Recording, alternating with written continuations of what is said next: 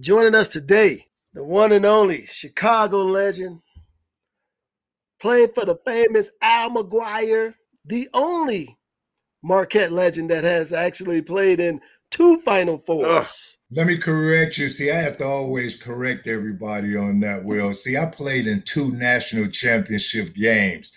But sorry to interrupt you, but go ahead with your introduction. Well, I stand, I stand corrected. The only Marquette player to ever play in two championship games, winning the 1977 championship. The only player that I know created, played in his own uniforms that he designed 17th overall pick.